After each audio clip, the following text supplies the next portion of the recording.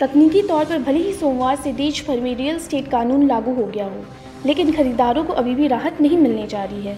इसकी वजह ये है कि कानून भले ही लागू हो गया हो, लेकिन कई राज्यों और केंद्र शासित प्रदेशों में तो अभी ऑथोरिटी बनने की प्रक्रिया शुरू भी नहीं हुई है। मज़ेदार बात तो ये है कि केंद्र शासित राज्य दिल्ली चाहे इस काम की ज़िम्मेदारी केंद्र सरकार की है, वहाँ भी अब तक इस काम को पूरा नहीं किया गया है।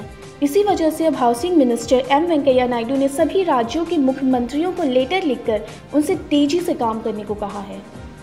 हालात ये है कि इस कानून से जुड़े नियम भी कई राज्यों ने अब तक नोटिफाई नहीं किए हैं। हाउसिंग मिनिस्ट्री से सूत्रों का कहना है कि अब तक तेरह राज्यों और केंद्र शासित प्रदेशों ने इस कानून से जुड़े नियमों को नोटिफाई किया है।